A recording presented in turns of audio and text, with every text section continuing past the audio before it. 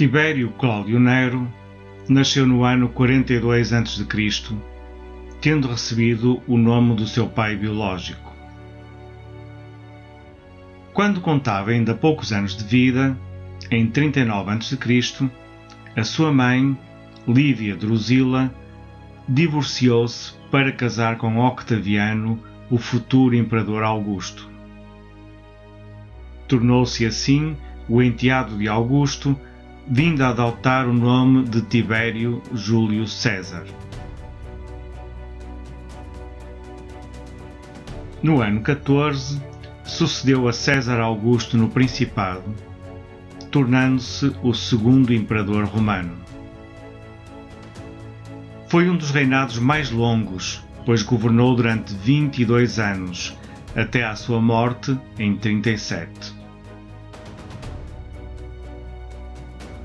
Os acontecimentos polémicos que rodearam a sucessão de Augusto, que tardou em nomear um herdeiro político, desgastaram Tibério, de quem se diz que nunca ambicionou a mais elevada honra do império.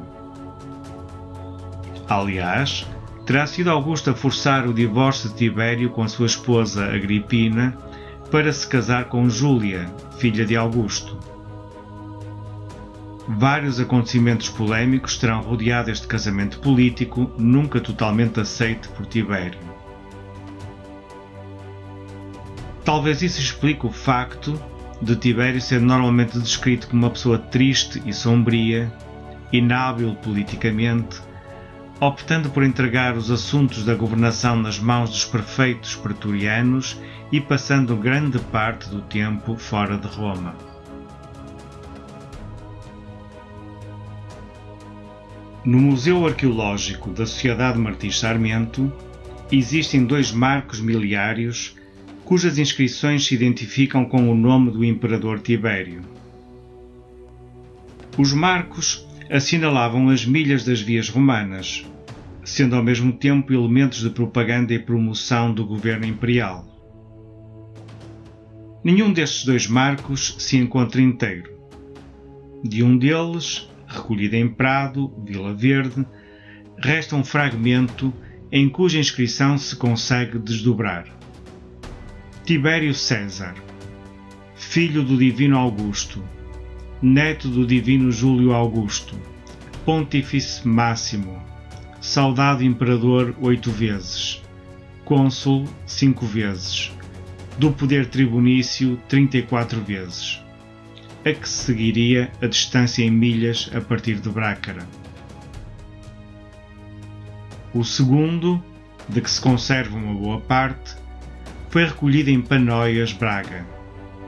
A inscrição seria idêntica, mas conservam-se mais letras originais, incluindo a parte da epígrafe que informava a distância em milhas em relação a Brácara. Um aspecto curioso sobre esta peça é o facto de, do lado oposto ao da epígrafe latina e com orientação inversa em relação à inscrição, se encontrar gravada a palavra Tibães, o que sugere que este antigo miliário romano foi reutilizado como marco de delimitação dos terrenos do mosteiro de Tibães. Ainda da época de Tibério, o Museu Martins Sarmento conserva várias moedas de bronze maioritariamente recolhidas na Citânia de Briteiros.